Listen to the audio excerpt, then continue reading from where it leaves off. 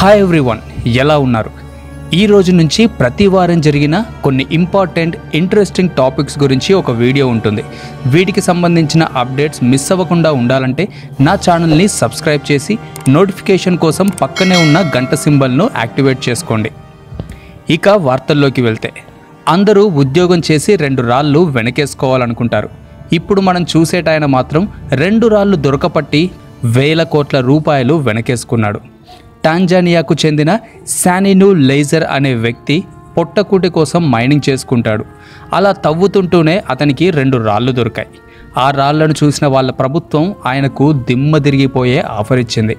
ఏకంగా మూడు పాయింట్ మూడు ఐదు యుఎస్ మిలియన్ డాలర్స్ ఇచ్చింది. ఇంత డబ్బు ఇచ్చిందంటే అవి ఎంత పెద్ద రాళ్ళో అనుకునేరు. మన మోచేతి పొడవు కూడా ఉండవు అవి. ఒకటేమో తొమ్మిది కిలోలు ఇంకోటేమో ఐదు కిలోలు మాత్రమే ఉంటాయి. ఇంతకీ ఆయనకి దొరికిన రాళ్ళేంటో చెప్పలేదు కదా? అవి రేరుగా దొరికే బ్లూ కలర్లో ఉన్న టాంజానైట్ జెమ్ స్టోన్ టాంజానియాలో ఉన్న మైన్స్లో దొరికే జెమ్ స్టోన్ని స్మగ్లింగ్ చేసి వేరే దేశాలకు పంపిస్తారు. అందుకే ఈ మైన్స్లో దొరికిన గోల్డ్ జెమ్ స్టోన్ను డైరెక్ట్గా వాళ్ళ గవర్నమెంట్కు అమ్మొచ్చు.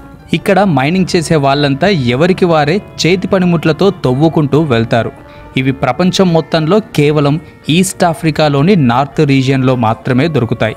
జాక్పాట్ అంటే ఇలా ఉండాలి. మనకు కూడా ఒక రెండు రాళ్ళు దొరికితే బాగుండు కదా? ఇప్పుడు చెప్పుకోబోయేది కూడా రాళ్ళ గురించే. జూన్ పంతొమ్మిది రెండు వేల ఇరవై.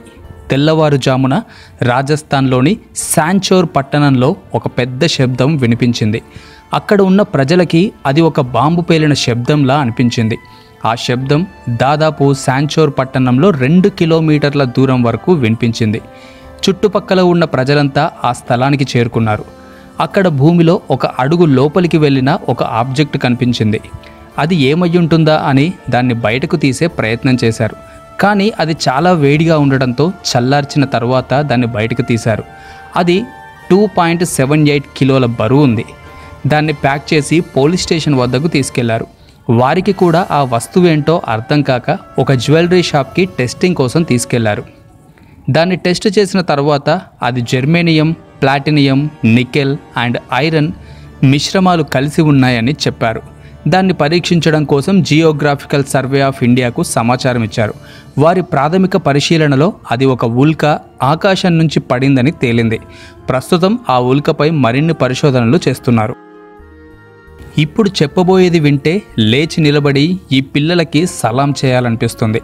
గత కొద్ది రోజులుగా భారత సరిహద్దుల్లో కవ్వింపు చర్యలకు పాల్పడుతున్న చైనా మన జవాన్లను చంపాలని చూసింది. అనుకోని దాడికి ధీటుగా సమాధానం ఇచ్చిన భారత జవాన్లు నలభై మందికి పైగా చైనా సైనికులను మట్టుపెట్టారు. అందులో మన జవాన్లు ఇరవై మంది వీరమరణం పొందారు. ఈ వార్త విన్న దేశమంతా చైనాకి గట్టి గుణపాఠం చెప్పాలని కోరుకుంటే ఉత్తరప్రదేశ్లోని అలీఘర్కు చెందిన పది మంది బుడతలు. ఇంకా స్కూల్ చదువులు కూడా పూర్తి చేయని ఈ బుడతలు రోడ్లపై నడుస్తూ కనిపించారు. వీరిని చూసిన ఓ పోలీస్ ఆఫీసర్ ఎక్కడికి వెళ్తున్నారని ప్రశ్నించాడు. దానికి కుర్రాలిచ్చిన బదులు వింటే రోమాలు నిక్కబడుచుకుంటాయి. ఆ పోలీస్ ఆఫీసర్తో చైనాకి బుద్ధి చెప్పేందుకు బార్డర్కు వెళ్తున్నామని సమాధానమిచ్చారు వారికున్న దేశభక్తిని మెచ్చుకొని సముదాయించి ఇంటికి పంపించాడా police. Bollywood actor Sushant Singh Rajput suicide చేసుకున్నాడని అందరికీ తెలుసు. ఇప్పుడు ఒక టిక్ టాక్ స్టార్ కూడా సూసైడ్ చేసుకొని చనిపోయింది. ఆమె వయసు కేవలం పదహారు సంవత్సరాలే. ఆమె పేరు సియా కక్కర్. ఇన్స్టాగ్రామ్లో ఈమెకు లక్షల మంది ఫాలోవర్స్ ఉన్నారు. టిక్ టాక్లోనైతే ఏకంగా వన్ మిలియన్కు పైగా ఫాలోవర్స్ ఉన్నారు. న్యూఢిల్లీలో ఆమె ఉండే రూమ్లోనే ఊరేసుకొని చనిపోయింది. ఆమె ఎందుకు చనిపోవాల్సి వచ్చిందనే దానిపై పోలీసులు ఇన్వెస్టిగేషన్ స్టార్ట్ చేశారు. చైనా ఇండియా గొడవలో తరచూ వినిపించే పదం గాల్వాన్ లోయ. ఈ లోయకు గాల్వాన్ అనే పేరెలా వచ్చిందో చూద్దాం. గులాం రసూల్ గల్వాన్ బ్రిటిష్ ఎక్స్పిడిషన్ టీంలో ఒక మెంబర్. పద్దెనిమిది వందల తొంభై తొమ్మిదిలో ఈ టీం చాంగ్ చెన్మా వ్యాలీ దాని చుట్టుపక్కల ప్రాంతాల్లో ఉన్న కొత్త ప్రదేశాలను కనుగొనేందుకు పరిశోధన చేస్తుంది. దీనిలో భాగంగానే గులాం రసూల్ గల్వాన్ ఒక లోయను చూశాడు.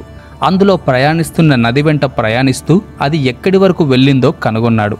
ఆ నది కొంత దూరం ప్రయాణించి షోక్ నదిలో కలుస్తుంది. ఈ నదిపైనే భారత్ ఒక వంతెన కూడా నిర్మించింది.